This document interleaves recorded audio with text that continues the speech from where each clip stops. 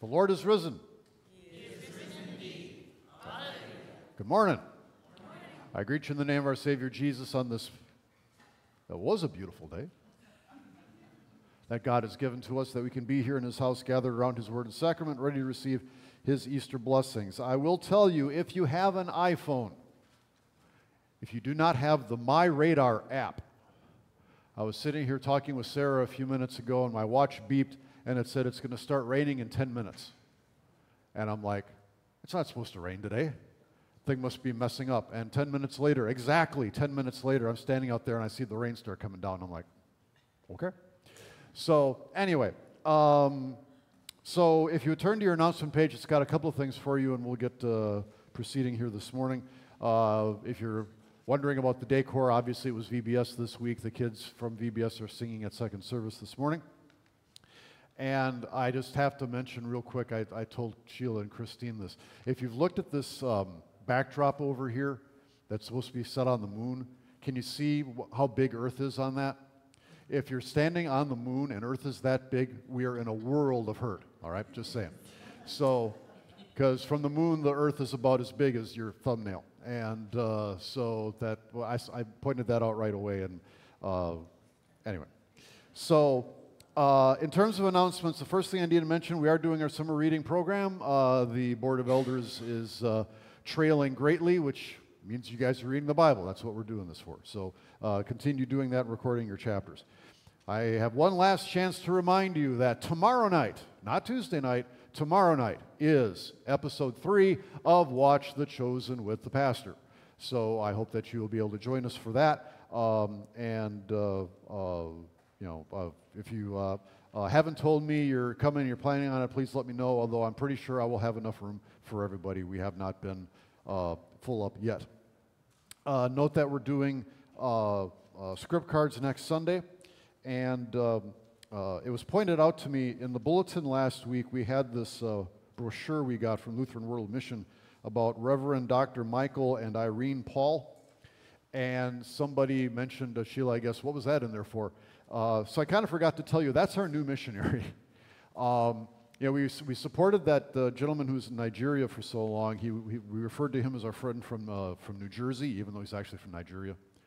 Um, and he got sent back, and the synod said he couldn't go back because it was too dangerous. And so then we supported a guy who was an engineer. He lived in California, worked for, I don't know, 30 years in aerospace. He went to the seminary and voluntarily went to Gary, Indiana to be a missionary there. He was from originally, Gary. And I told the Board of Elders and the Council that anybody who willingly lives in Gary, Indiana, we should support them. Because if you know anything about Gary, Indiana, it's not exactly the garden spot of the United States. Okay? So now he took a call and went to Michigan. So he's not a missionary anymore. He's, uh, he's at a dual parish in, in Michigan. So uh, we're now supporting this guy and his wife, and they are in Taiwan. And if you know anything about the current political situation uh, in the world, uh, we need to pray for those folks in Taiwan because mainland uh, China uh, keeps talking about invading it and taking it back, which, yeah, it hasn't been part of their country technically since World War II. So, um, so anyway, that's what that's there for. Um, and so, in terms of birthdays and anniversaries, Christine Williams, if you see her later, it's her birthday today. Jeff Glass, if you're watching online, happy birthday. His birthday is on Tuesday. Harriet Schneidinger has her birthday on Thursday, so Harriet, if you're watching, happy birthday. And uh, Amy Wilson on Saturday.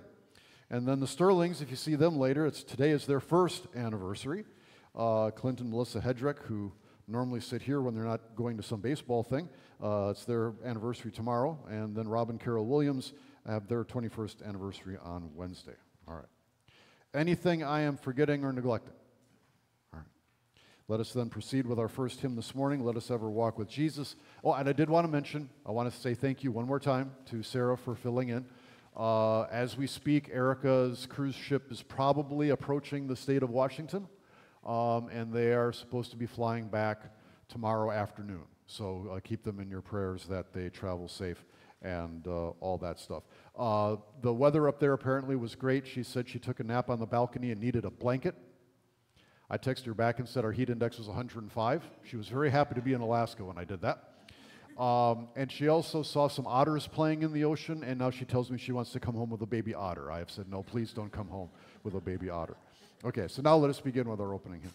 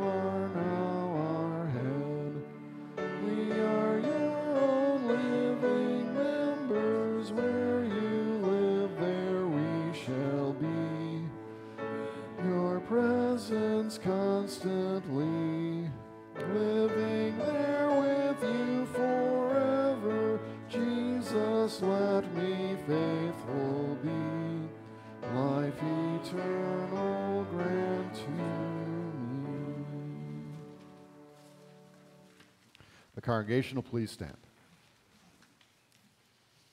In the name of the Father, and of the Son, and of the Holy Spirit. Amen. If we say we have no sin, we deceive ourselves, and the truth is not in us.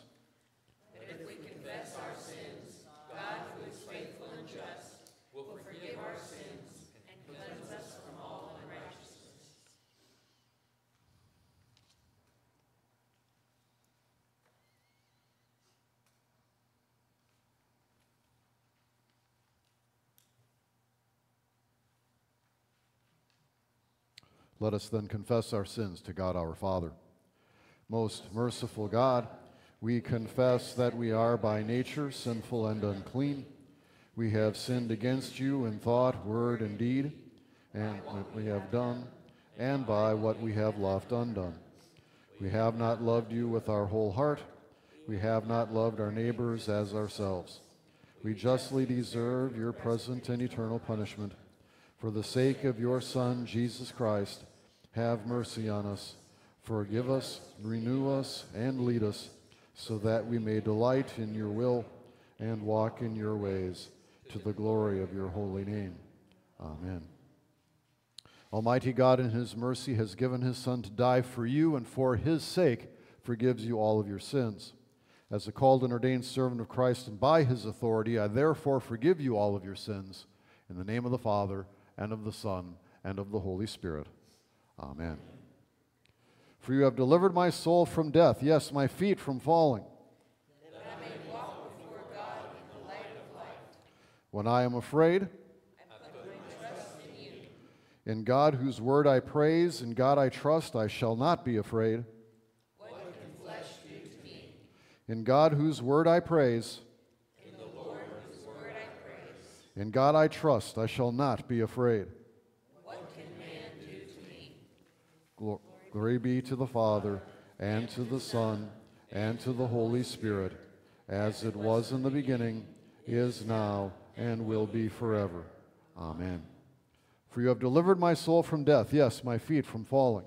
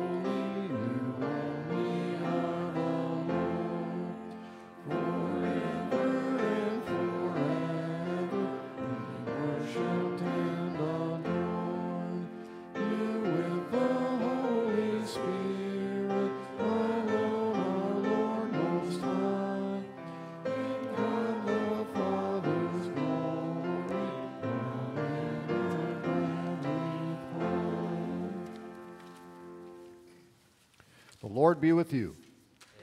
with you. We pray. O God, because your abiding presence always goes with us, keep us aware of your daily mercies that we may live secure and content in your eternal love. Through Jesus Christ, your Son, our Lord, who lives and reigns with you and the Holy Spirit, one God, now and forever. Amen.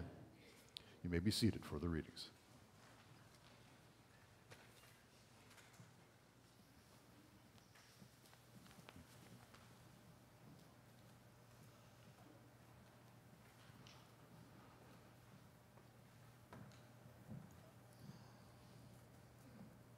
The Old Testament reading today is from Jeremiah 20. Yes, Is Yes. that right? Yep. O Lord, you have deceived me, and I was deceived. You are stronger than I, and you have prevailed. I have become a laughingstock all the day. Everyone mocks me. For whenever I speak, I cry out, I shout violence and destruction. For the word of the Lord has become for me a reproach and a derision all day long.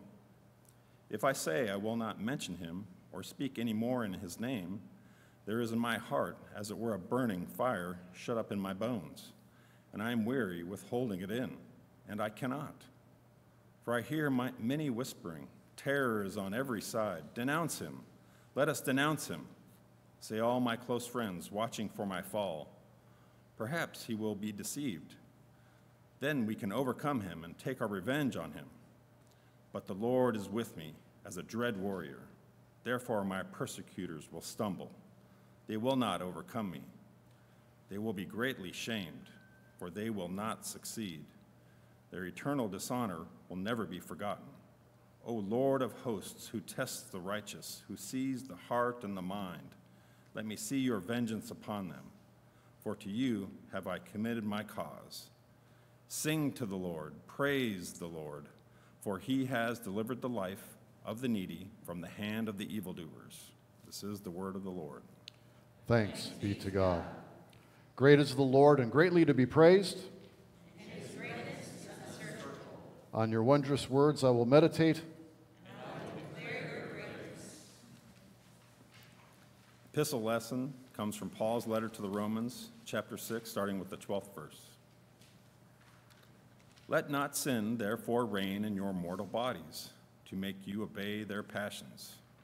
Do not present your members to sin as instruments for unrighteousness, but present yourselves to God as those who have been brought from death to life, and your members to God as instruments for righteousness. For sin will have no dominion over you since you are not under law, but under grace. What then? Are we to sin because we are not under law, but under grace? By no means. Do you not know that if you present yourselves to anyone as obedient slaves, you are slaves of the one whom you obey, either of sin, which leads to death, or of obedience, which leads to righteousness? But thanks be to God that you who were once slaves of sin have become obedient from heart to the standard of teaching to which you were committed, and having been set free from sin, have become slaves of righteousness. I'm speaking in human terms because of your natural limitations. For just as you once were, as you once presented your members as slaves to impurity and to lawlessness, leading to more lawlessness, so now present your members as slaves to righteousness, leading to sanctification. When you were slaves of sin, you were free in regard to righteousness. But what fruit were you getting at that time? From the things of which you are now ashamed. The end of those things is death. But now you have been set free from sin, and you have become slaves to, of God. The fruits you get leads to sanctification in its end, eternal life. For the wages of sin is death but the free gift of God is eternal life in Christ Jesus our Lord. This is the word of the Lord. Thanks be to God. We now stand to sing the Alleluia in verse, and we remain standing for the words of the Holy Gospel.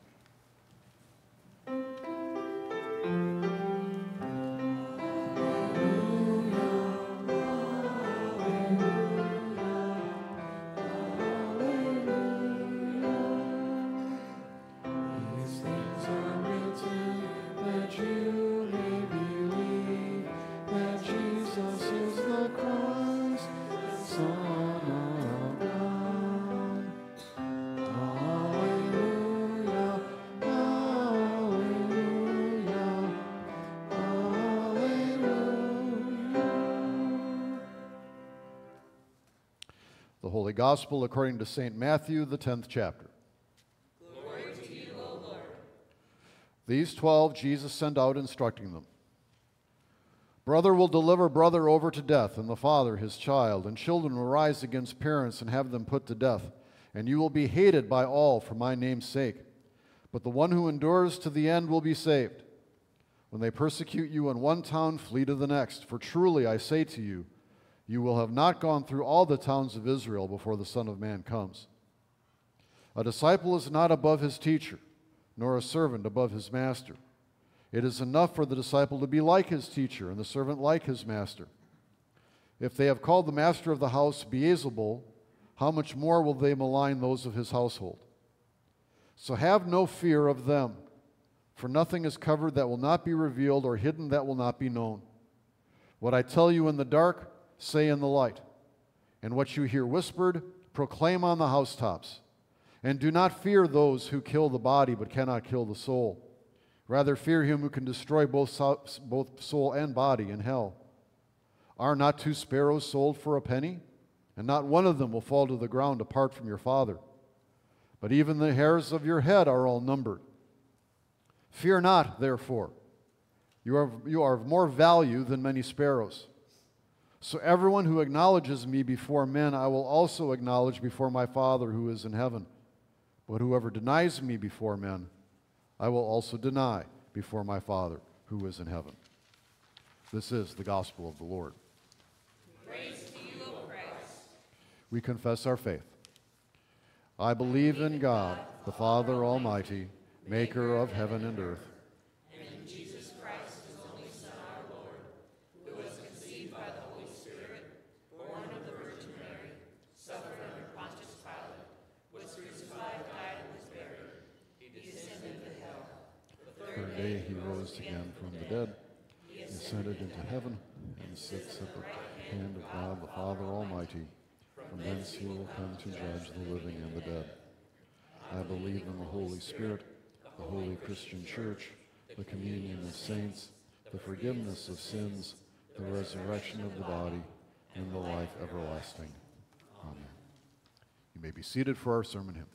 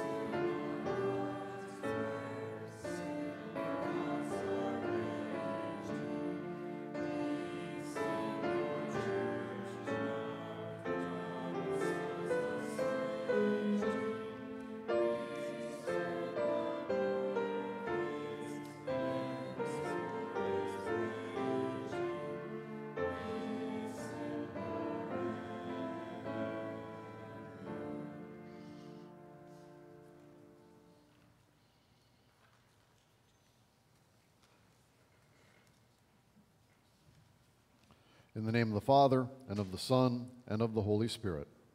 Amen. The text for your sermon this morning, the biblical basis for our thoughts together here today, are the words of the gospel reading, which I read a few moments ago, the Gospel of St. Matthew, the 10th chapter. It begins with verse 5, but really it begins at verse 21. Don't think it's any secret to you folks at this point that I grew up in a Lutheran family.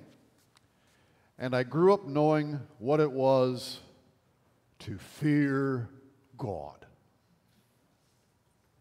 When I was a kid, I went to church every Sunday, went to Sunday school, went to vacation Bible school, even went to Lutheran grade school, K through 8.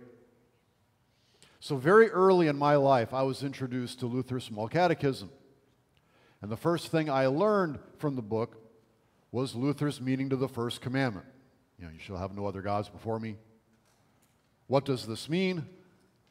We should fear, love, and trust in God above all things. We should fear God. And this is something I had to deal with at a very young age. I memorized that in first grade. Miss Gerhardt assigned us that. First day of class, 1968, 69? Long time ago. Fear God. And being a kid and being influenced by my pastor, my parents, and my German American upbringing, I always figured that to fear God was to be afraid of God. I always figured if you sin, God is going to smite thee. But that's not what we mean when we say we should fear God.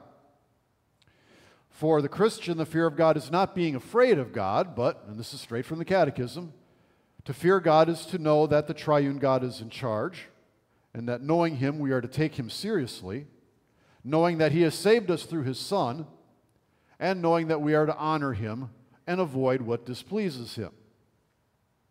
So, the more we fear God, the more we know our Father in heaven, the less we have to be afraid of while we're here on earth. So, today we're going to discuss this. For we are all to fear God and fear less. Okay? Now, lots of people have fears. Lots of people have things that they are afraid of. We're talking now about phobias. Did you know that there are more than 500 named phobias? I looked this up on Google this week. The most common is acrophobia, the fear of heights. Okay. The least common fear, at least according to my Google search, now I've been practicing pronouncing this all week. Let's see how I do. How I do. Arachibutyrophobia. Any, anyone have any clue what that is? No, this is the least common fear in the world. Lots of people are afraid of that. Arachibutyrophobia is the fear of peanut butter sticking to the roof of your mouth.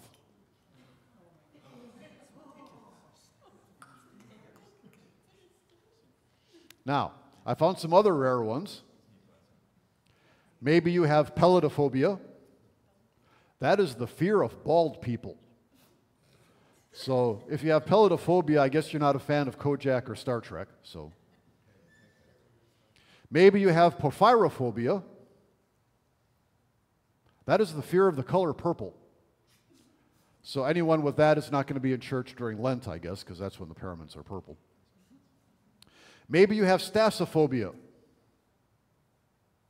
That is the fear of standing or walking. So I guess anyone with stassophobia just never gets out of bed. So if you knew somebody growing up, you know somebody who you think is really lazy, maybe they just have stassophobia and they don't want to get out of bed. I don't know. and maybe you have decidophobia. And decidophobia is the fear of making decisions. And I don't know about you, but I'm afraid I can't decide what I want to say to that one. You got that. Thank you. We all have our fears. We all have stuff that we are afraid of. My phobia is I have spiders and wasps and snakes in the house of phobia. That's my phobia.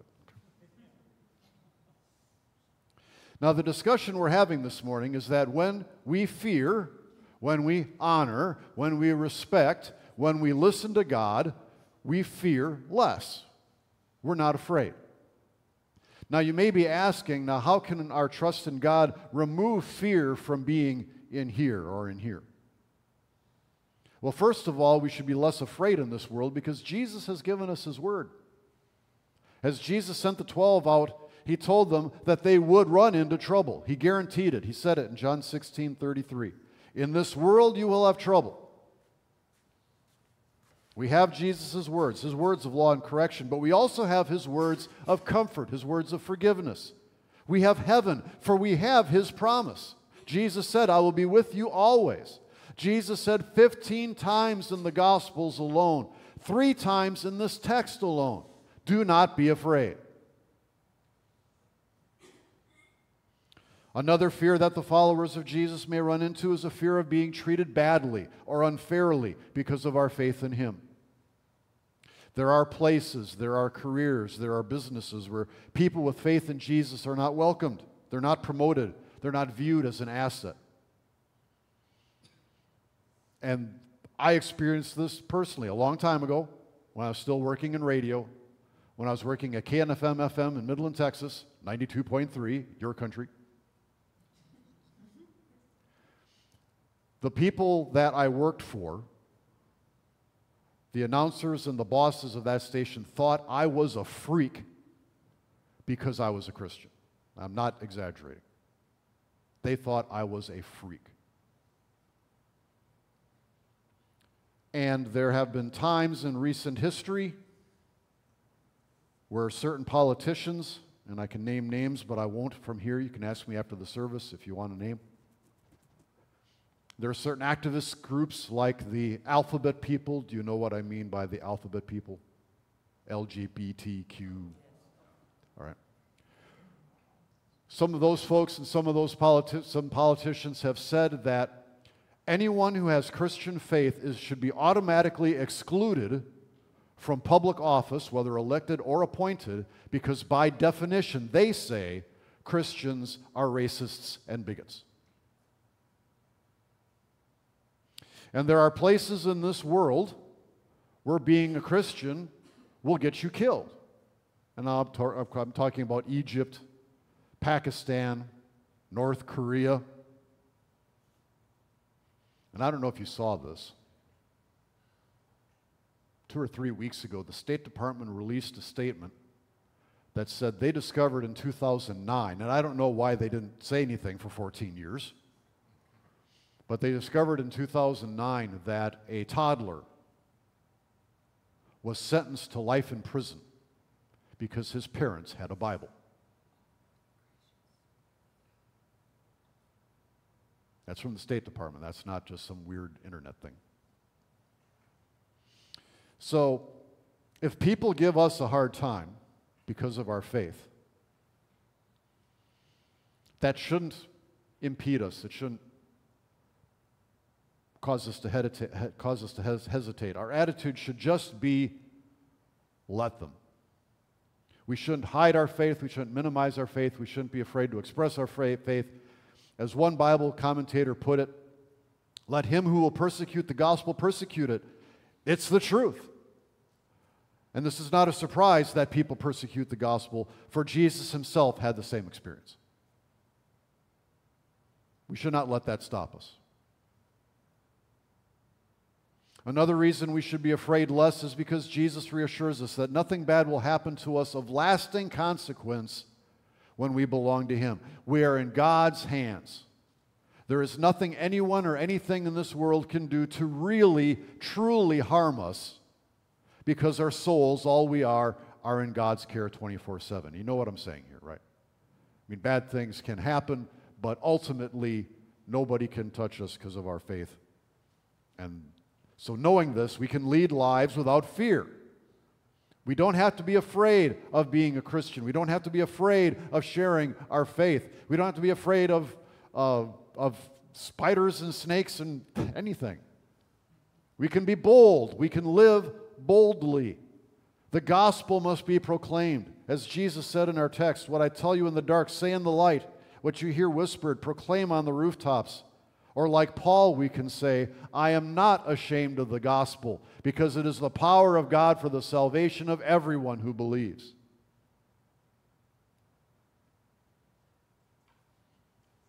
I ran across the story, and we have a historian in, our, in the back of our room here who may, may know this. The story is told of a bold guy. I've just been telling you, we need to live boldly, right? There was this bold guy named Peter Cartwright. Does this name ring a bell with you? Does it? Does it? Okay. He was a preacher 200 years ago in this country. And he was one of those preachers that people who knew him said, yeah, he's, quote, uncompromising, end quote. So one day, the President of the United States, Andrew Jackson, was in his building and it was visiting his congregation. And for the record, I would love it if a pastor would come to this church and I could preach to them. I think that would be fun. But Andrew Jackson was in his congregation, and the pastor was warned because, you know, Andy Jackson had a bit of a temper. The pastor was warned not to say anything out of line. Don't say anything offensive while the president is sitting there, which sounds kind of like our politically correct uh, era that we live in, right? So Reverend Cartwright got up to preach his sermon, and he said this. I'm quoting him now. I understand that Andrew Jackson is here, and I have been requested to be guarded in my remarks.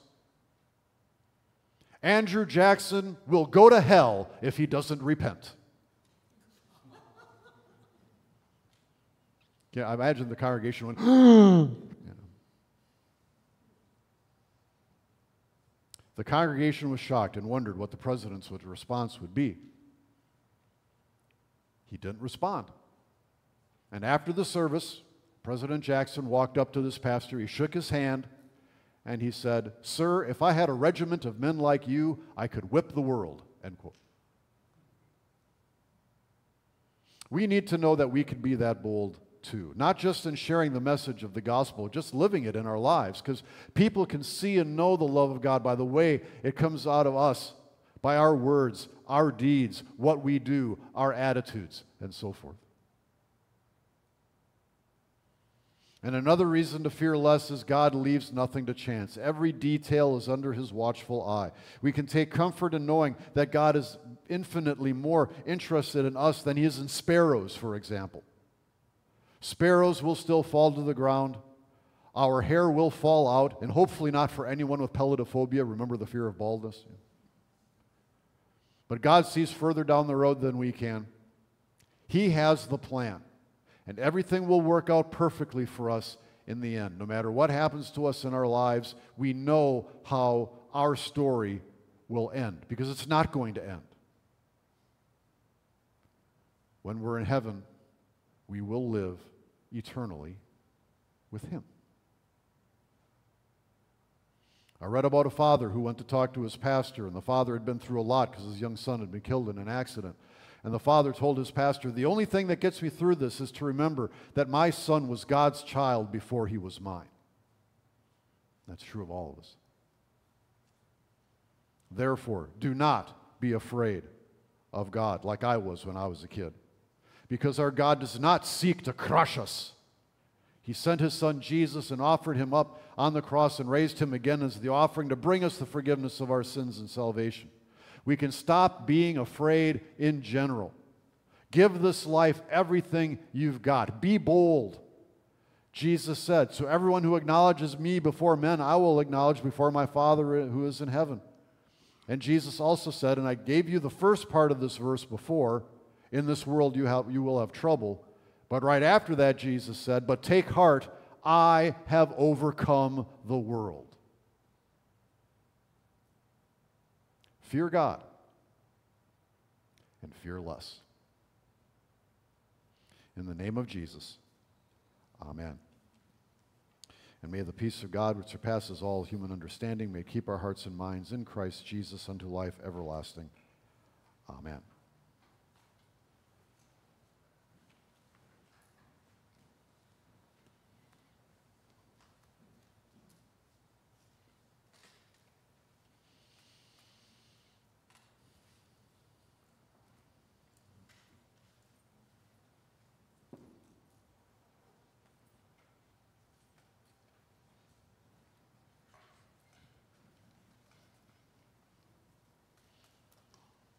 Heavenly Father, please bless and receive these uh, uh, gifts that we give back to you from that which you have first given to us. Amen. We now stand for the prayers and petitions of our congregation. God of all strength, you've brought us from death to life. Do not let sin reign in our mortal bodies and make us obey its passions. Turn our hearts continually to Jesus, that we would present our bodies as instruments of righteousness. Lord, in your mercy, God of our salvation, your Son warned that your people would face opposition from the world. Give courage and fortitude to your pastors and people, that we would boldly sing your praises, gladly endure suffering for the name of Jesus, and continue by your grace to the end. Lord, in your mercy. Father in heaven, the curse of sin brings division within families. Grant unity of faith within the households of this congregation. Give wisdom and peace where there is anger and strife. Bless parents with faithfulness to teach their children your ways. Lord, in your mercy. God of all creation, you appoint authorities to keep order for the good of your people. Bless the authorities in our land with wisdom to seek the common good. Deliver them from temptations to promote evil and oppose your will. Give them penitent hearts that they might be confident of your grace for them. Protect our troops, including Tyler, Thomas, Chris, Matthew, and Preston, Evan, Cannon, Teresa, David, Maya, and John, Ben, Debbie, Seth, Kendon, Christian, and Jacob, Jonathan, Nick, and Hyojin. Lord, in your mercy. Almighty God, bless those in need of your healing presence. And we pray for all those in our bulletin insert here this morning. And we also uh, take a moment and pray silently in our hearts for those that we know to be in need of the presence and mercy of Jesus.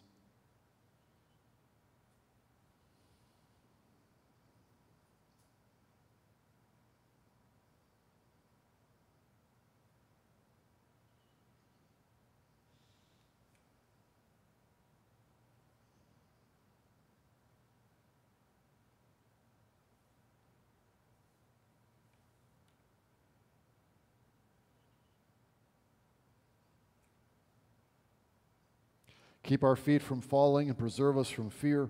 Make us confident that since you have delivered our souls from death, you will deliver us to walk before you in the light of everlasting life. Lord, in your mercy. Lord of life, grant that all who partake of the Holy Communion today would present ourselves as those brought out of death into life, repenting of our transgressions and gratefully receiving your Son's body and blood for the forgiveness of our sins. Lord, in your mercy.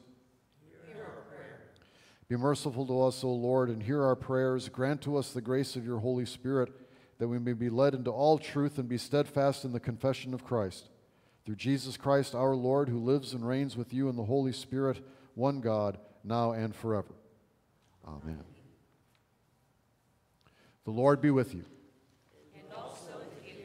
Lift up your hearts. We lift them to the Lord. Let us give thanks to the Lord our God. It is right to give him thanks and praise.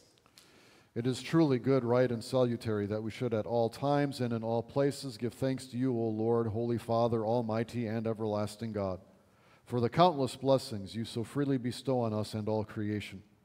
Above all, we give thanks for your boundless love shown to us when you sent your only begotten Son, Jesus Christ, into our flesh and laid on him our sin, giving him into death that we might not die eternally.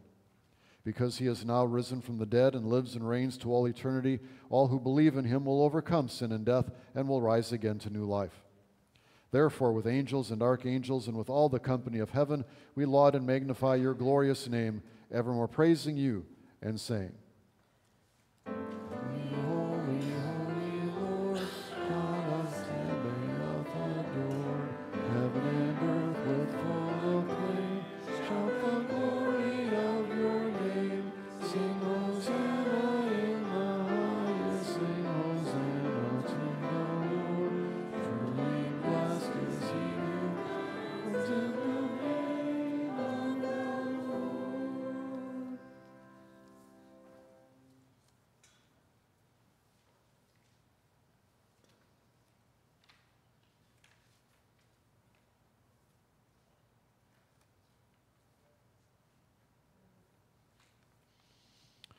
Blessed are you, O Lord our God, King of all creation, for you've had mercy on us and given your only begotten Son, that whoever believes in him should not perish, but have eternal life.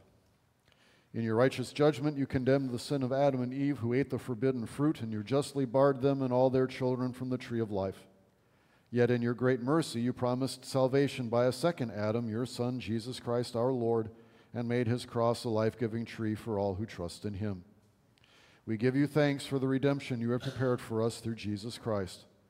Grant us your Holy Spirit that we may faithfully eat and drink of the fruits of his cross and receive the blessings of forgiveness, life, and salvation that come to us in his body and blood.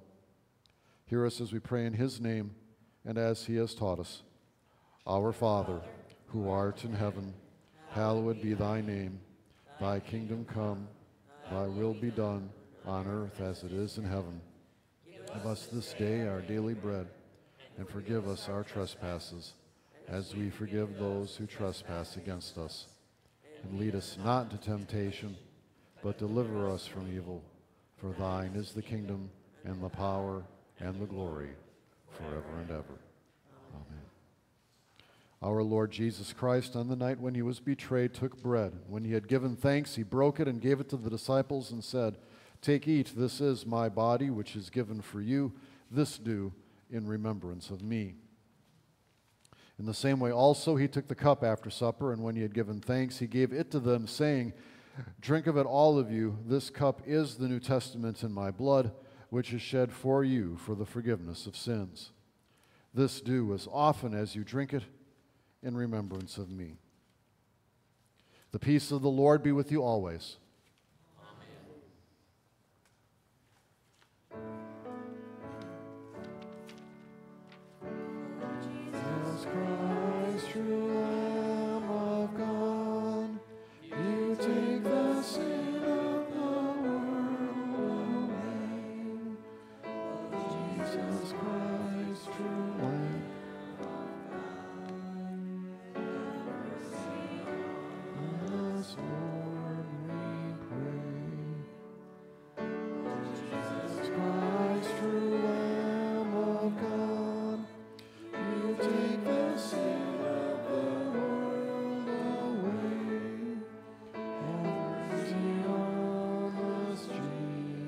Jesus Christ,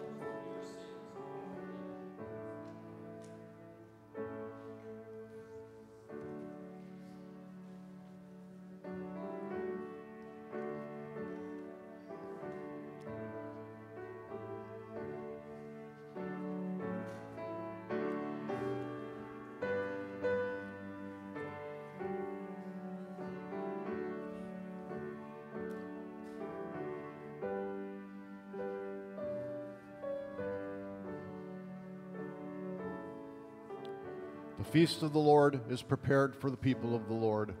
Come to the feast.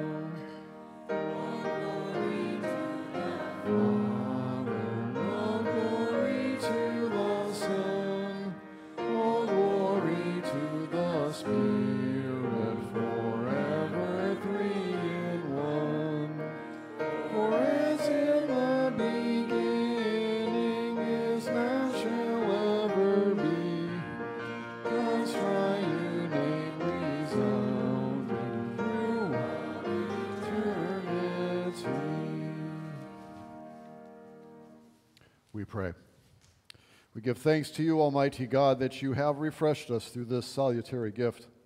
And we implore you that of your mercy you would strengthen us through the same in faith toward you and in fervent love toward one another. Through Jesus Christ, your Son, our Lord, who lives and reigns with you in the Holy Spirit, one God, now and forever. Amen. Let us bless the Lord. Thanks be to God. The Lord bless you and keep you. The Lord make his face shine on you and be gracious to you. The Lord look upon you with his favor and give you peace. Amen. We remain standing for our closing hymn.